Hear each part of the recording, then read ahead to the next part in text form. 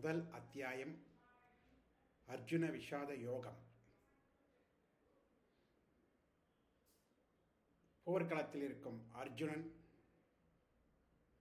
போரிடுவதற்கு முன்பாக தன் எதிரில் இருக்கும் உற்றார் உறவினர் சுற்றத்தினர் அத்தனை பேரும் பார்த்து மனக்கலக்கம் அடைகின்றான். போரை செய்வதற்கான மன வலிமை இல்லாமல் உடல் வலிமை குன்றி மயக்கமடையும் சூழ்நிலையில் அமைகின்றான்.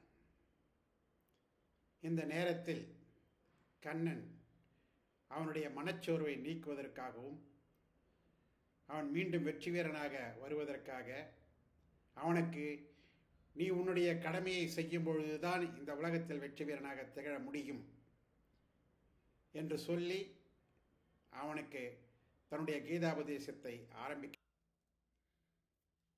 சாங்கிய யோகம் அத்தியாயம் இரண்டு. எதிர்காலத்தில் என்ன நடக்குமோ என்ப துன்பத்தை நினைத்து இன்று நீங்கள் பயப்படுகின்றீர்கள். இன்றைய தினம் இறைவனை வணங்கி மகிழ்ச்சியுடன் ஆரம்பிக்கும் பொழுது எதிர்காலமும் துன்பங்கள் நீங்கி மிகவும் அருமையாக இருக்கும். இது ஒன்று. இரண்டு. நாம் நல்ல எண்ணங்கள் நேர்மறை சிந்தனைகளால் இறை வழிபாட்டின் மூலமாக நம்முடைய ஆத்மாவை வலிமைப்படுத்த வேண்டும். இது இரண்டு. இப்படி செய்யும் பொழுது நாம் இன்பம் துன்பம் இவற்றையெல்லாம் சரி சமமாக சமநிலையில் எடுத்துக்கொள்ளும் பொழுது வாழ்க்கை இன்பமாக இருக்கும். கடைசியாக நான் எனது என்ற பற்றுக்களை விட்டுவிட்டு இந்த வாழ்க்கையை வாழும் பொழுது வாழ்வு ஆனந்தமயமாக இருக்கும். கீதையின் அத்தியாயம் மூன்று. கர்மயோகம். இதை நன்கு உணர வேண்டும் என்றால் மூன்று உண்மைகள் நமக்கு தெரிந்திருக்க வேண்டும். ஒன்று எல்லா உயிர்களிடத்திலும் இறைவன் இருக்கின்றான். இரண்டு எல்லா பொருட்களும் இந்த உலகத்தில் ஒன்றை ஒன்று சார்ந்து இருக்கின்றது. மூன்று ஒரு கண நேரம் கூட நம்மால் செயலாற்றாமல் இருக்க முடியாது. இந்த மூன்றையும் ஒன்றுக்கொன்று தொடர்புபடுத்த வேண்டுமென்றால் நாம் தொண்டு செய்ய வேண்டும். தன்னலமற்ற தொண்டினால்தான் இந்த உண்மையை உணர முடியும். அதற்கு ஆசையை விட்டு ஒழிக்க வேண்டும். ஆசை இல்லாமல் சேவை செய்யும் பொழுது நாம் எல்லா இன்பங்களையும் அடைய முடியும். கீதை அத்தியாயம் நான்கு ஞான கர்ம சந்நியாச யோகம். மனிதனின் சித்தம் பலவீனமானது. ஆகையால் தான் அவனுக்கு நன்மைகள் செய்வதை விட மிகச் சுலபமான வழியில் தீயவற்றை செய்து இன்பமடைய விரும்புகின்றான். ஆனால் மக்கள் படிப்படியாக நேர்மை குன்றி விடுகின்றார்கள். தர்மம் நியாயம் குறைகின்றது. இந்த நேரத்தில் பகவான் ஒரு உறுதியளிக்கின்றார் தான் மறுபடியும் தர்மத்தை நிலைநாட்டுவதற்காக பூமியில் அவதரிப்பேன் என்கின்றார். அதன் விளைவாக மக்கள் தளலமின்றி வாழ்ந்து பல்வேறு தொண்டுகளை செய்ய வேண்டும். இந்த யோகத்தை சரியான ஒரு ஆச்சாரியார் மூலமாக நாம் தெரிந்து கொண்டு வாழ்க்கையை நடத்தினால் வாழ்க்கை இன்பமாக இருக்கும். அத்தியாயம் ஐந்து. சந்நியாச யோகம். எதையும் விரும்பாமலும் எதையும் வெறுக்காமலும் உள்ளவன் எவனோ அவனே நித்திய சந்நியாசி என்கிறார் பகவான். நீங்கள் ஆசையற்றவர்களாக இருக்க வேண்டும். யாவரேனும் ஒருமைப்பாட்டை உணர வேண்டும். பின் எதை துறப்பது? பற்றுதலை துறக்க வேண்டும். இது சற்று கடினமானது. இருப்பினும் இதுவே தியாகமாகும். அடுத்து சர்மபல தியாகம் செயல்களின் பலனை துரத்தல் சிறிது சேவை செய்யும் பொழுது பெரிய வெகுமதியை எதிர்பார்க்கக்கூடாது சேவை உங்கள் இயற்கையாகட்டும். எல்லா உயிர்களிலும் இறைவனை காண வேண்டும். அவனால் அவனோடு ஒன்றுபட்டு அவனில் உறைவீர்கள். அவனுக்கே சேவை செய்யும் உணர்வை பெறுவீர்கள். வணக்கம். கீதை அத்தியாயம் ஆறு தியான யோகம். மனதை அடக்கினால்தான் மேற்கூறியவை நடக்கும். கட்டுப்படாத மனம் உங்களுக்கு பகைவன். கட்டுப்பட்ட மனம்தான் உங்கள் நண்பன். மனதை கட்டுப்படுத்துவது எப்படி? பயிற்சியாலும் வைராகியத்தாலும் தான் முடியும். ஏகாந்தமான இடத்தில் அமர்ந்து தியானம் செய்து கடவுளின் நாமத்தை ஜபியுங்கள். சாந்தமான இன்பநிலை ஏற்படும். மனதை கட்டுப்படுத்துவது அவ்வளவு எளிதல்ல. தவறான நினைவுகளும் ஆசைகளும் இல்லாத தூய மனம் தேவை. இப்பிறப்பில் லட்சியத்தை அடையாவிட்டாலும் நஷ்டமில்லை. அடுத்த பிறப்பில் விட்டதிலிருந்து தொடங்கலாம். எனவே முடிந்தவரை இந்த யோகத்தை பயில முயலுங்கள். வணக்கம். வணக்கம். பகவத்கீதை அத்தியாயம் ஏழு. ஞான விஞ்ஞான யோகம். தினமும் இரண்டொரு மணி நேரம் தனி இடத்தில் அமர்ந்து கடவுளை தியானித்தால் மட்டும் போதாது. விழித்திருக்கும் போதும் கடவுளை நினைக்க வேண்டும். அப்போதுதான் உள்மனம் தூக்கத்திலும் தொடர்ந்து ஆண்டவனை சந்திக்கும். கடவுளின் உயர்ந்த பிரகிருதியே எல்லா உயிர்களிடத்திலும் உள்ள ஜீவாத்மா. அவர் எல்லா உயிர்களையும் இணைக்கும் தெய்வீக நூல். நாம் காணும் நற்பொருள்கள் எல்லாம் அவரே. அறிவாளிகளின் அறிவு அவர் பலவான்களின் பலம் அவர் கீர்த்திமான்களின் கீர்த்தி அவர். சத்வம் ரஜஸ் தமஸ் என்ற மூவகை குணங்களின் சேர்க்கையாக ஆளப்படும் மனிதன் மாயையின் வசப்பட்டு தனக்கு வெறிகில் வெகு அருகில் உள்ள இறைவனை உணர்ந்து கொள்வது இல்லை. வணக்கம். அஷ்ரப் பிரம்மயோகம். நம் பூமியில் வாழ்க்கை முடிந்த பிறகு ஒன்று முக்தி அடைவது இரண்டு மறுபிறப்பு எடுப்பது. மறுபிறப்பு என்பது நம் கடைசி காலத்தில் என்ன நினைவாக இருக்கின்றோமோ அதுவாகவே பிறப்போம். கடைசி தருணத்தில் இறைவனை நினைத்தால் இறைவன் திருவடையை அடைந்து முக்தியை அடைவோம். இந்த மனப்பழக்கம் எப்படி வரும் என்றால் நாம் இப்பொழுதிருந்தே இறைவனை பிரார்த்திக்க தொண்டை தொடங்கினால்தான் நம் நினைவுகளில் இறைவனை பொறிந்தினால்தான் நம் கடைசி தருணத்திலும் நாம் இறைவனை நினைத்து இறைவன் திருவடிகளை அடைய முடியும். இந்த மனக்க மனப்பழக்கத்தை கொண்டு வருவதற்காக இப்பொழுதிருந்தே நாம் இறைவன் திருநாமத்தை உச்சரித்து இந்த வாழ்வில் ஆனந்தத்தையும் மறுபிறப்பில்லாத ஒரு முக்தி நிலையையும் அடைவோம். வணக்கம். ராஜவித்யா ராஜகுஷ்ய யோகம் பகுதி ஒன்பது பகவத்கீதை. இறைவனே நமக்கு தாயும் தந்தையும் பாட்டனும் ஆவார்.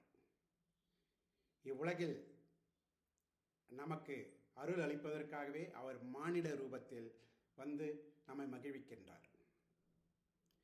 இறைவனின் நமக்கு எல்லாமாக கருதி வழிபடும் பொழுது ஒருவன் எந்நிலையிலும் அவரது தவறாத தெய்வீக பாதுகாப்பத்தை பாதுகாப்பை அடைந்து ஆனந்திக்கின்றான். அதற்கு ஈடாக உங்களால் செய்ய முடியாததை இறைவன் கேட்கவில்லை. இறைவனுக்கு நாம் செய்வதெல்லாம் பிரார்த்தனையோடு கூடிய ஒரு சிறிய இலை ஒரு பூ அல்லது கனி. இவை எதுவும் இல்லை என்றால் ஒரு சிறிதளவு நீராவது வைத்து நாம் வழிபட்டு உள்ளன்போடு வழிபடும் பொழுது இறைவனின் கருணையை பெறலாம். பகுதி பத்து உபூதி யோகம் கடவுள் எல்லையற்றவர் எந்த வரையறைக்கும் உட்படாதவர். கடவுளை உணர்ந்தவர் கடவுள் எங்கும் இருக்கின்றார் என்று நினைப்பவருக்கு தெரியும். தன் ஆத்மாவில் தான் கடவுள் இருக்கின்றார் என்பது. கடவுளை உணர்ந்தவர் எந்த பாவமும் செய்ய மாட்டார். தன் ஆத்மாதான் கடவுள் என்று உணர்ந்தவர் தன்னின் கடவுள் நிலையை வெளிப்படுத்த முடியாது முடிவது மிகவும் கடினமான ஒன்று. அதற்கு காரணம் கடவுள் எதிலெல்லாம் வெளிப்படுகின்றார் என்று கண்ணன் சொல்லுகின்றான். மெஞ்ஞானம் நல்லறிவு மன்னிப்பு வாய்மை புலனடக்கம் அகிம்சை சமநிலை ஆகியவையே. இவை எல்லாவற்றிற்கும் கடவுள் சொல்லுகின்றான் ஒவ்வொன்றின் சிறந்த பாகமும் நானே சூதாட்டக்காரனின் சூதும் நானே. ஆகும் எங்கும் நிறைந்தவர் கடவுள். வணக்கம். பகவத்கீதையின் பதினோராவது அத்தியாயம் விஸ்வரூப தரிசனம் விஸ்வரூப தரிசனத்தை பார்த்து அர்ஜுனன் மயக்கமடைந்து விடுகின்றான். இறைவனை காண முடியாது காண வேண்டும் என்று நினைப்பவர்கள் மிக பிரம்மாண்டம். அவனுடைய பிரம்மாண்டத்தை சொல்ல முடியாத அளவுக்கு இருந்ததினால் அவனால் அதை காண கண்கோடி வேண்டும் என்ற சூழ்நிலை ஏற்பட்டதால் அவனால் அதை காண காணவும் முடியாமல் மயக்கம் ஏற்படுகின்றது அப்படி என்றால் உண்மையிலேயே கடவுள் எல்லா இடத்திலும் நிறைந்திருக்கின்றார் என்பதுதான் ஒரு உண்மை. அப்பொழுது கடவுளை எப்படி காண்பது என்பதை கடவுளே சொல்லுகின்றார். பகவான் காலத்தின் மூலம் யாவற்றையும் செய்கின்றார். காலத்தின் கைக்கருவிகளே நாம். இதை நன்குணர்ந்து காலத்தை கடந்து கடவுளோடு ஒன்றியிருக்க வேண்டும். இவ்வாறு கடவுளை அறிய உதவுகிறது. நாம் இறைவனை பிரார்த்தி பிரார்த்திப்பது ஒன்றுதான். பகுதி பனிரெண்டு பக்தி யோகம் கடவுளுக்கு ஏதாவது ஒரு நாமாவளியுடன் உருவம் இருந்தால்தான் நம் மனத்தில் இருத்தி அவரை பூஜிக்க முடியும். இல்லை என்றால் அது மிகவும் சிரமமான காரியம். இப்படி இருக்கும்பொழுது பகவானை நினைத்து நம்முடைய தொண்டுகள் அனைத்தையும் நாம் செய்யும்பொழுதுதான் அத்தனையும் அவனுக்கு அர்ப்பணிக்க வேண்டும். நம்முடைய சேவைகளை அர்ப்பணிக்கும் பொழுதுதான் நான் பகவானை நெருங்குகின்றோம். எந்த விதமான யோகத்தையும் பயில முடியவில்லை என்றால் கடமையை செல்லுங்கள். பலனை எதிர்பார்க்காமல் செய்தால் அதே இறைவனுக்கு செய்யும் தொண்டு. உண்மை பக்தன் அனைவரிடமும் நட்பு பூணுகின்றான் அவன் கருணை இல்லம் படைத்தவன். அகங்காரமும் மமதையும் அற்றவன். இன்ப துன்பங்களால் பாதிக்கப்படுவதில்லை. அச்சம் சோர்வு அவனை அணுக மாட்டான் ஆசையற்றவன் புனிதமானவன் புகழ்ச்சி மிகழ்ச்சியும் அவனை பாதிப்பதில்லை வணக்கம் க்ஷேத்திர க்ஷேத்ரஜ விபாக யோகம் பகவத்கீதையின் பகுதி பதிமூன்று. பக்தி ஞானத்துக்கு கொண்டு செல்கிறது. பகவத் ஞானமே முடிவான லட்சியம். பரபக்தியே ஞானம் அல்லது உயர்ந்த அறிவு. ஆனால் ஞானம் என்பது யாது? மனம் அல்லது புத்தியால் செய்வது ஞானம் ஆகாது பகவான் இங்கு ஞானம் என்பதற்கு விளக்கம் கொடுக்கிறார். தற்பெருமையின்மை அகிம்சை பொறுமை நேர்மை குரு சேவை விடாமுயற்சி சமநிலையோடு கூடிய மனம் அசையாத பகவத் பக்தி ஆத்ம ஞானத்தில் நாட்டம் யாவரிடத்திலும் இறைவனை காணுதல் இவை போன்றவையே ஞானம். எங்கும் நிறைந்தவரான கடவுளே அறிவு. அறிவினால் அடையத்தக்க லட்சியம் அவரே. உங்கள் இதயத்தில் அமர்ந்துள்ளவரான அவரை அறிவதுதான் வாழ்வின் உன்னத முடிவு. வணக்கம். குணரத்திய விபாக யோகம் பகவத்கீதையின் பதினான்காவது அத்தியாயம். சத்வம் ராஜஸ் தமஸ் ஆகிய முக்குணங்களும் மனிதனை உலகுடன் பிணைக்கின்றன. சுவாத்வீக கர்மங்கள் ஆனந்தம் அறிவு ஆசையின்மை ஆகிய நற்கருணங்களினால் நற்பலன்களை அளிக்கின்றன. ராஜச கர்மங்கள் துயரத்துக்கு கொண்டு செல்கின்றன. தமஸ் அஞ்ஞானத்தை தவிர வேறொன்றையும் கொடுக்காது. இம்முக்குணங்களையும் கடப்பவன் அழிவற்ற பதத்தை அடைகிறான். அவன்தான் ஆத்மாவை அறிகிறான். அவனே ஞானி. ஆத்மா இம்மூன்றுக்கும் அப்பாற்பட்டது என்றும் அது சாட்சியம் மாத்திரம் என்றும் உணர் புருஷோத்தம யோகம். பகவத்கீதையின் பதினைந்தாவது அத்தியாயம். வைராக்கியம் என்னும் வாளினால் இந்திரிய இன்பகமாக இன்பமாகிய மரத்தை வெட்டி தள்ளுங்கள். அந்த இன்பத்தால் ஒருபோதும் திருப்தி ஏற்படாது. பரமாத்மாவின் நிலை பெறுங்கள். எவரிடமிருந்தும் பழமையான சம்சாரம் பெருகி வந்துள்ளதோ அந்த ஆதி புருஷனையே சரணமடைகின்றேன் என்று திரும்ப திரும்ப கூறிக்கொள்ளுங்கள். அப்போது பற்று அறுபட்ட ஜீவாத்மா பரமாத்மாவோடு ஒன்றுபட்டு உன்னத நிலை அடையும். அழியக்கூடிய உடல் அழிவற்ற ஜீவாத்மா ஆகிய இரண்டுக்கும் அப்பாற்பட்டவர் பரமாத்மாவாகிய பகவான். ஆகவே உங்களுக்குள்ளே தெய்வீகத்தன்மை பகவானுக்குரிய தோற்றமே என்று உணர்ந்து ஆண்டவனை ஆராதியுங்கள். காலக்கிரமத்தில் அவனை உணர்ந்து அவரோடு ஒன்றாகி விடுதலை அடைவீர்கள். பகுதி பதினாறு. தெய்வாசுர சம்பத் விபாக யோகம். ஆத்ம ஞானம் என்பது கடவுளுடன் ஒன்றுபடுவது. அவ்வாறு இரண்டர கலப்பதற்கு நீங்கள் தெய்வீகமாக வேண்டும். தெய்வ சம்பத்துகளை நீங்கள் வளர்க்க வேண்டும். அசுர சம்பத்துகளை அகற்ற வேண்டும்.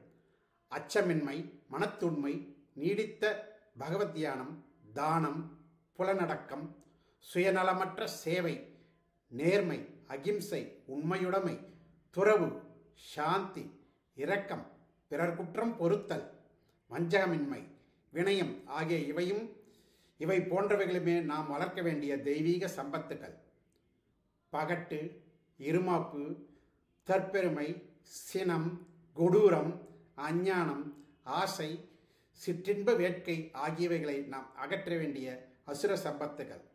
நரத்கதியின் மூவித வா நரகத்தின் மூன்று வாயில்களான காமம் குரோதம் லோபம் ஆகிய மூன்றையும் துரத்தல் வேண்டும். சிரதாத்திர விபாக யோகம் பகுதி பதினேழு. முக்குணங்களின் சத்வமே கடவுளுக்கு மிக அருகில் உள்ளது.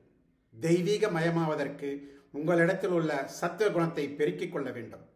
அதற்கு யாவற்றிலும் சத்துவ குணம் உள்ளவற்றை தேர்ந்தெடுத்துக் கொள்ள வேண்டும். நீண்ட ஆயுளை அளிப்பதும் அறிவு ஆனந்தம் இனிமை புஷ்டி தரத்தக்கதாயும் உள்ள சாத்வீக உணவை உண்ண வேண்டும். உடலாலும் உள்ளத்தாலும் வாக்காலும் சாத்வீகமான தவத்தையே செய்யுங்கள். பிரதி உபகாரத்தை எதிர்பாராமல் கடமை என்ற உணர்வுடன் சாத்வீக தானம் செய்யுங்கள். ஓம் தத் சத் என்னும் மந்திரத்தை உச்சரித்துக் கொண்டு உங்கள் கர்மங்கள் யாவற்றையும் தொடங்குங்கள். ஏனெனில் இதுவே பரம்பொருளின் உயரிய நாமம். இவ்வாறு சாத்வீக குணத்தை அதிகரித்துக் கொண்டு தெய்வீகமாக திகழுங்கள். மோட்ச சந்நியாச யோகம் பகுதி பதினெட்டு. எந்த சமயத்திலும் தொண்டு தானம் தவம் இவற்றை துரத்தல் கூடாது. நல்லது கெட்டது பயம் பயமின்மை விடுதலை பந்தம் ஆகியவற்றை ஆராய்ந்தறியும் சாத்வீக புத்தியை பெருக்கிக் கொள்ளுங்கள். நிலை தவறாது. பிராணன் இந்திரியங்களை கட்டுப்படுத்தி தியானம் பயில்வதாகிய சாத்வீக உறுதியை கடைபிடியுங்கள். புண்ணிய ஸ்தலங்களில் வாழுங்கள். புலனின்பத்தை துறவுங்கள். சிறந்த பகவத் சக்தியால் கடவுளை அறிந்து மேன்மறியுவீர்கள் அர்ஜுனனுக்கு முடிவில் கண்ணன் இரண்டு பெரும் உறுதிமொழிகளை அளிக்கின்றான். இறைவன் பால் மனம் வைத்து இறைவனிடம் பக்தி பூண்டு இறைவனையே பூஜியுங்கள். நீங்கள் சந்தேகமின்றி இறைவனை அடைந்திடுவீர்கள்.